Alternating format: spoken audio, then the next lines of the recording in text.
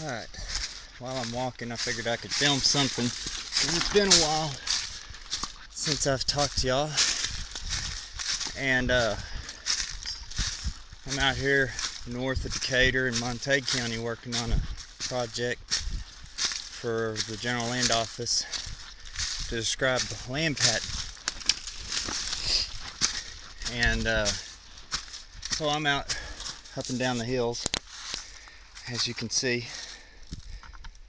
looking for stone mounds, witness trees, whatnots, but climbing up and down these hills is not fun. Anyway, um, so what I've decided to do was to give you the intro to our next one from here, which will go from the, the rocks that I found scattered and looked for another stone next to a tree. And I find something, but I don't think it fits. But then I find another tree that we that somebody cut down and we cut count the rings to see about the age and see if trees would work in that area. So it's a good lesson on trees, I think, and how to identify them based on the surroundings. So as you watch this one, just note that it's not true in every circumstance, but it is true in my area. So enjoy as we bring you the third episode of surveying a profession. We go up that way in order to get back online. Uh, 395, supposed to be 440 feet. And we're at 250 degrees where we're supposed to be at 270 from the uh, indicator. And that tree right there is one I'm going to go for. Thinking that that's probably the distance and bearing, but we'll just kind of go up that. Look at all three of these trees. And it may be even further up, further over too. Okay, so uh, off we go. And let's uh, see what happens.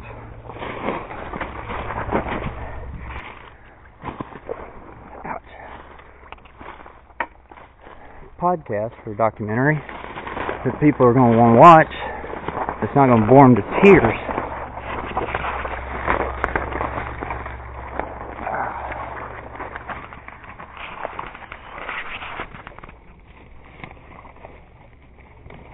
grill. I don't know if you've probably seen this.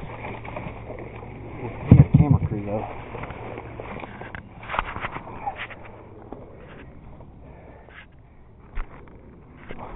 The survivor man, he didn't have a camera crew. I'm not a survivor man either. Okay. We have to climb that rock shelf and get up to the top. Should be fairly easy It's the first tree I wanted to go to, and there's no rock mound around it. And most of the witness trees would be marked on the side, as if you were on the rock mound looking towards a tree. There'd be a definite scarring. It has a little bit of scarring right there. Nothing that indicates it was an X or anything like that. And there's a good tree over there, and right there. I'm just glancing down at the base of those. There's no rocks at the base of them. No easier way up either that way. I'll go up that way where those rocks are coming together. Climb where the rabbits climb. Here we go. Well, it's a good thing I took y'all out on this one at least you get to see what we go through. Uh, anything, you might get to see me fall down this uh, rock, that crevice. Gotta ooch my way up there. Right, so here we go.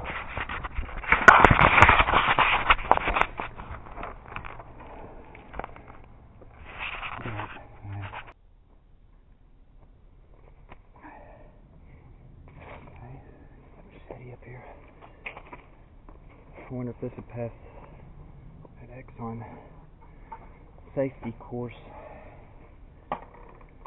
without a helmet without a harness.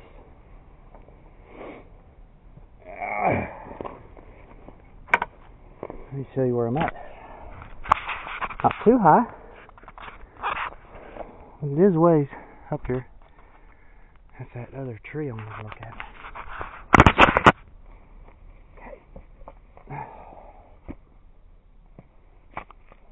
Nope.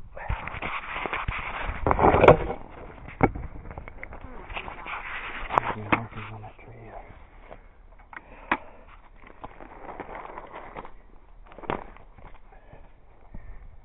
Oh, there's a road. Alright, let's see where we're at. 268.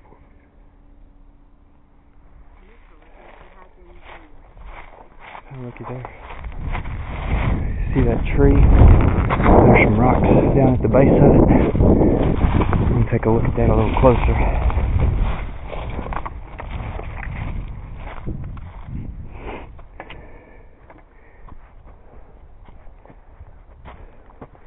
Those rocks seem to be too big though.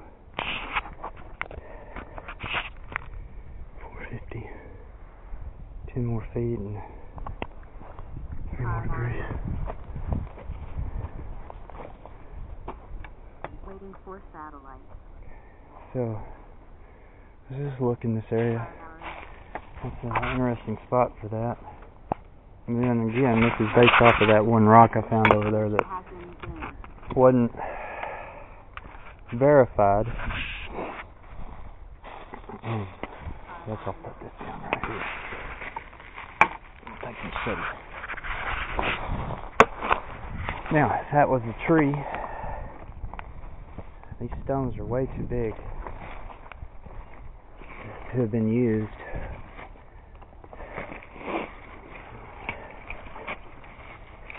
That too little.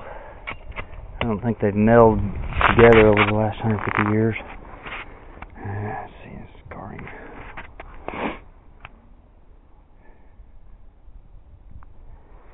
There's some scarring right in here, and one right here. Um, again, let's look at the what the markings would have been. Mark on the bottom, two marks on top, and an X.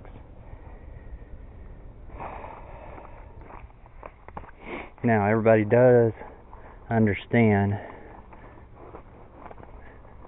that if you mark a tree, most times they were marked chest high, right in here, and uh, they're not going to move up the tree as it grows. Common misconception that a lot of people don't realize that trees grow out, not up. Uh, so let's trim some of this out. We'll just verify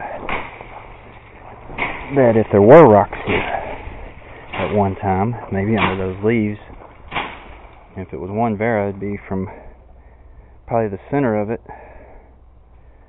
somewhere right in there.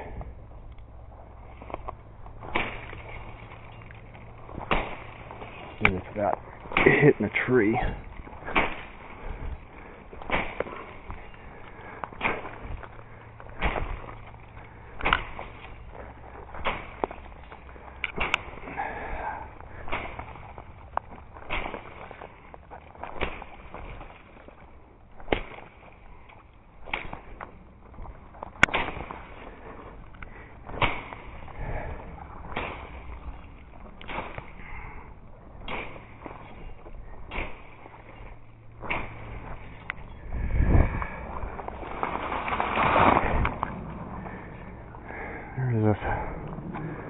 A right there.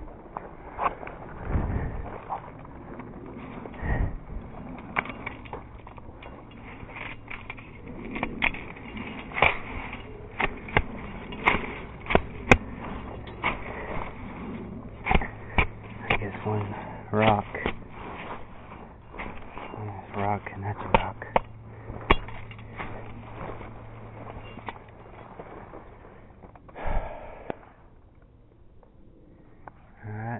Look around some more. Not too overly sold with that witness tree.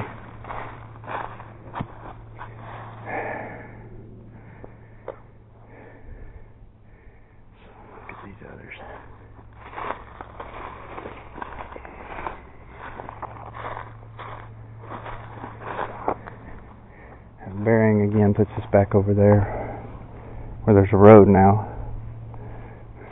Unfortunate. It's interesting.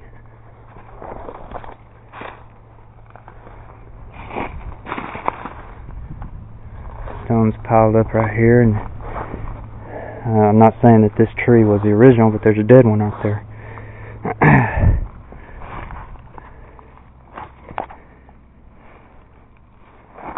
that too is also interesting.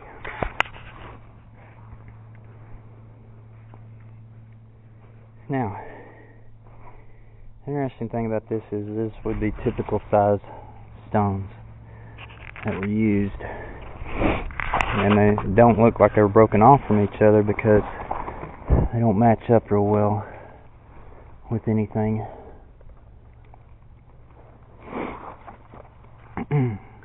now, did the tree grow up in the middle of it?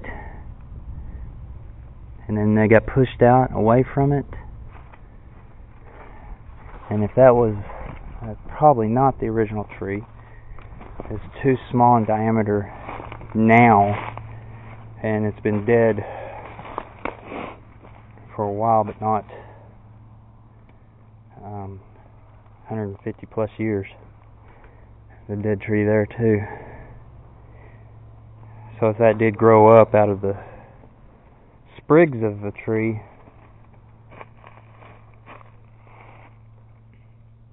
looking at it from this side, it doesn't look as impressive as it did coming from the other side. That tree right there. You can see the instrument right there. There's that tree. The stones down at the base, about one vara north east of it, actually wraps around a little. There's some scarring on the side that should be. It looks like two bars, maybe an X, and another bar, uh, maybe another bar there. And then it could be just some bars or some scarring just naturally. That bark is going to cover quite a bit if that was the tree. Being up on the hill, as rocky as the soil is around it, uh, it's not going to grow real fast. We got a tree cut down over here. We can look at the rings and kind of do a comparison. What I'd like to do is get a shot on that and uh, take it back to the office and calculate, see how close we are to fitting some other things. Now, what we're looking for are rings, and we're going to do a comparison to the size of this tree versus the size of that other tree. Now, as you can see, we have two uh, primary. I forgot what those were called, but it's where the the they sucked up the water. So you had two little branches that came up, and they just kind of grew around each other. So you can kind of see that right here.